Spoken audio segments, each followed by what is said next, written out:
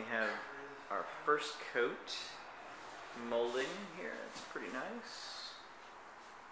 Here and a bit of door edge. Kenny's down there finishing up This, the last this looks messier than it is, but uh, what happens here is we're going to paint the rest of the door white, and then once it's all dry, we take a razor blade and we scrape this off. It comes off like butter. Like butter. And uh, for those of you who have not spread butter on your doors, trust me, it comes off real easy.